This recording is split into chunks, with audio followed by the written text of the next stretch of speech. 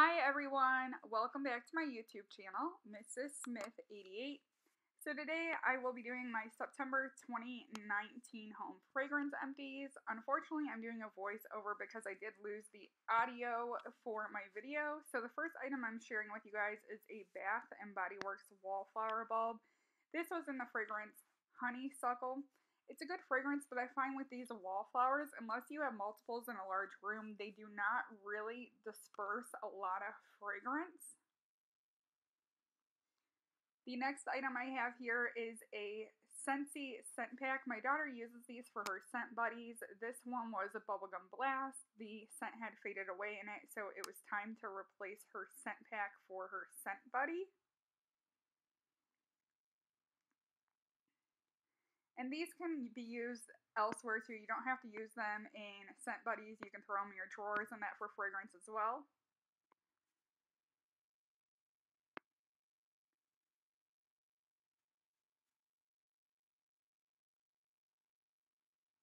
So the next item I have here is a Bath & Body Works melt. This one is in Watermelon Lemonade.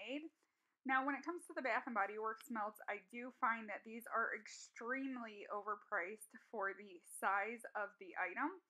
I'm pointing here to a watermelon spritzer candle from Aldi, the Huntington Home Collection, that was very comparable to the Bath & Body Works melt. The Bath & Body Works melts are $4.50 if you don't get them on sale. If you do get them on sale, I think they go on sale for like 3 for 12, which still isn't the greatest value. You're further ahead to buy fragrances like Scentsationals or Better Homes and Gardens where you're getting them for like two, two fifty for a six pack. So here is an item from Swan Creek Candle Company. This is one of the refill companies, uh, refill tubs. I find these to be the best value. They're approximately like $14.50, maybe $16, and you get 20 to 24 ounces of wax. I like to melt these down in the microwave and pour them into silicone molds to make my own tarts. So as I'm showing you, that's what my tarts look like after I pour them in silicone molds. And then I bag them in polypropylene bags so that they stay fresh.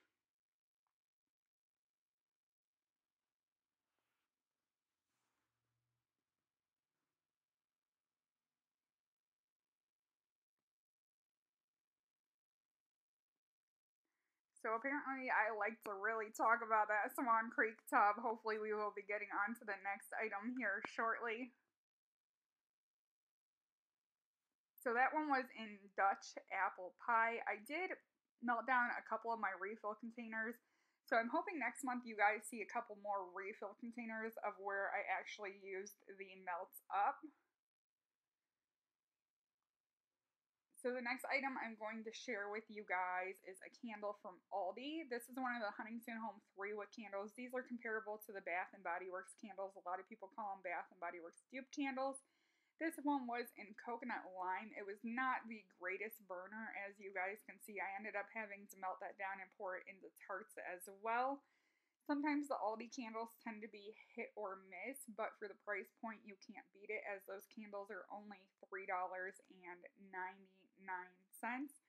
So I tend to pick them up quite often when I see them in the Aldi ad. They come out with new candles, it seems like every couple of weeks.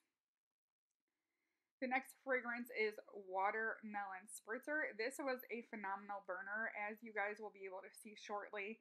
I did burn this pretty much all the way down. I chose to stop it where I did because I don't like my candles getting too far down. I end I usually end up tossing them out with about an inch of wax left in them unless they have a I guess good reputation of burning to the bottom. I don't always trust my candles as I'm afraid of glass breaking. The watermelon spritzer smelled very similar to Bath & Body Works watermelon lemonade.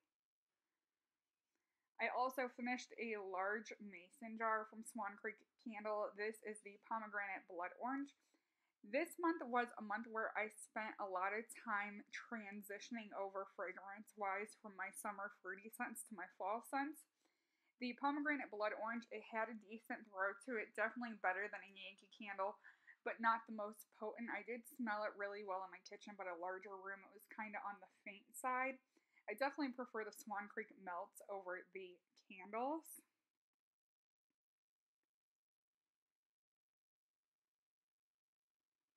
So moving on from candles to my melts, I do have a pretty healthy stack, not the biggest stack.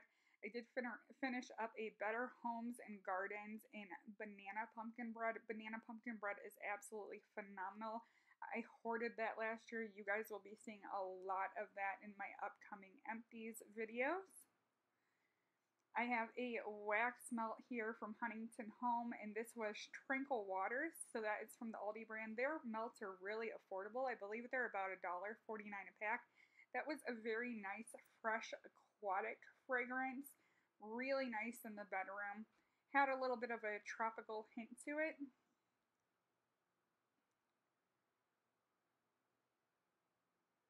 The next home fragrance as well is from Aldi. This is a Huntington Home Wax Melt.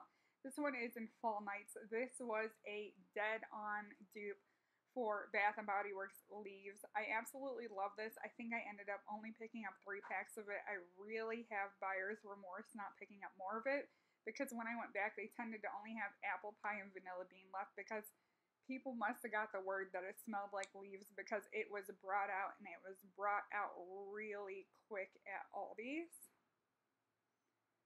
So the next home fragrance wax melt I have is a Sonoma wax melt. This is from Kohl's. This one is in passion fruit passion fruit punch and this was a super punchy scent. I wouldn't say that it technically smelled like passion fruit. It did smell like maybe pineapple, a little bit of um, regular apple in there. Just a real fruity, tooty drink smelling scent. We also have wax melts here from Aldi Huntington Home, and this was the cranberry cranberry mandarin. This was definitely a good transition scent because cranberry goes really good into fall. The mandarin still gave it that little sweet note to it. So I did enjoy melting that.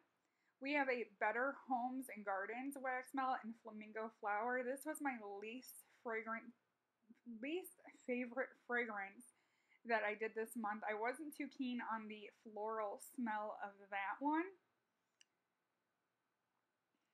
I have, it looks like, two more wax melts to share with you guys.